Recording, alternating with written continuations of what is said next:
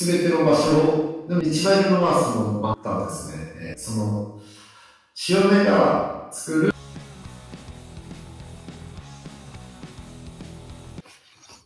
はい、えー、秋、秋葵さん、えー、周知さん、周知さんね。はい。えー、川と川の合流に発生するよれの攻め方で迷走しています。よれの真ん中、端、先端、末端、どこが狙い目でしょうか主なフィールダー隅田川です。えーっとね、よれ、まあ、よれ、いろいろ、合流のよれでしょあの、基本的に深いが、深い方から流れてくるメインの流れが、どっち側に押し込んでるかっていうのをすごい意識したら、ちょっと変わるかなと思いますね。まあ、最終的に今そこ書いてある、この全部を叩くことが大事なんですけど、まず真っ先に考えるのは、押し込んでる側、強い側ですね。で、よりはぶつかってるけど、絶対メインの流れが押して、反転流が回ってきて当たってたりするんで、そういう時はもう、まずはメインの流れ側に打たないとダメですね。はい。で、まあ、合流っつっても、こう、二つの川がぶつかってる時なんかは、まあ、そういう時はね、あの、大体その潮目の下はめっちゃ浅いんですよ。砂が溜まって。だから、まあ、すべての場所を、でも一番いるのはその末端ですね。えーその、潮目が作る地形変化で、合流側で言えば、潮目ができたら、その下は流れがぶつかって対流する、対流っていうか押し付け合うことで砂が溜まって、もう綺麗な V 字の馬の背になってますんで、その馬の背の一番お尻に鈴木がいる時が多いです。で、川の真ん中なんかにそれがあって、前もある時は前にもいたりしますけど、よくある合流の中洲の先端なんかはそういう感じですね。で、反で反転流から来る流れが隅田川多いですが、そういった時は、強いが、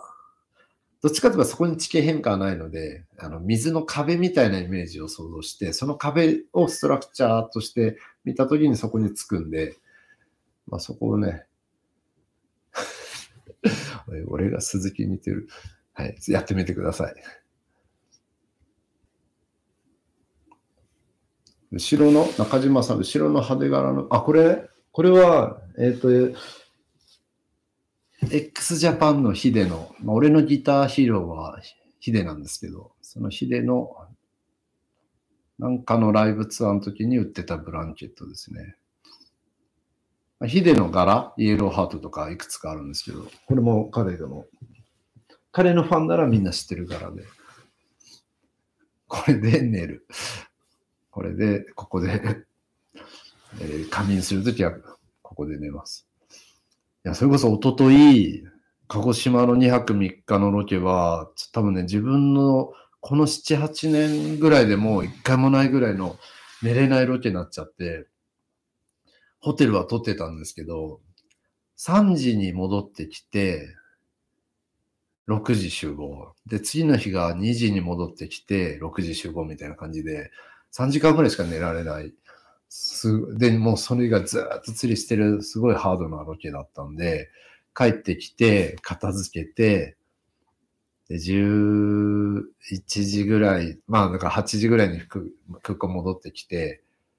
えー片付けて、11時ぐらいにここのソファー座って、スマホいじってたら石が消えてましたね。で、起きたの？2時半ぐらいでした。で、家戻ってまた寝てって感じでやってたんですけど。伊藤のアングラさん、生死と、生と死という観点から ACIDMAN というバンドをお勧めします。 ACIDMAN も聞きますね。ライブ行ったことないけど。まあ、近年はもうメロコアばっかりで、なんかメロコアの人に釣り好きが多くて、なんか幸い本当に接点がバンバン生まれて、この間もね、ムックの逹瑯氏が BlueBlue の工場遊び来てくれたり、去年も一回一緒に釣りしたんです。鈴木釣りしたんですけど、まあ、それあの、なんかいろんなメロコアバンドの方とつながりが生まれてるんで、で、自分もその音楽大好きなんで、あの、ウィンウィンというか、ね、リアルに出会うとまたその人たちの音楽をね、なんかより味わい深く聴けるっていうんですかね。聞いてますね。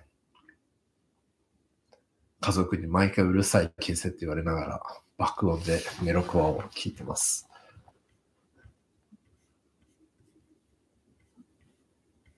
ライブ行ってみてください。感動します。そんなんで行ってみようかな。柴山さん、釣り親父とバイクの企画好きです。22歳なんですけど、バイクの免許取れてます。はい。バイクは楽しいです。ね、危ないので、安全だけは気をつけて。もうね、若い時は本当になんか、つい無理しちゃう。スピードの向こう側になんかあるように思えるんですけど、なんもないですから。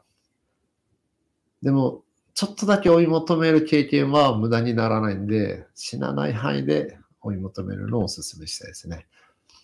最初から安全運転だけのバイク乗りの人よりは、スピードの向こう側を求めてた人の方が、最終的にそれで生き残ってた人たちはとても人間味のある人が多いので、やっぱり何らかのその無茶した限界の向こう側を見てきた生き様が顔に出てくるんで、4、50歳になると違うかなと思うんですけど、でも本当に危ないんで、はい。安全に楽しんでください。まそういう点で本当サーキットがおすすめで、まあ自分は行動でやってましたけど、なんだろうな。サーキットはね、対向車とか来ないですからね。で転んだ先には大体スポンジが待ってるんで、ガードレールが待ってるとか、ね、谷底が、溝があるとかそういうことないんで、サーキットでその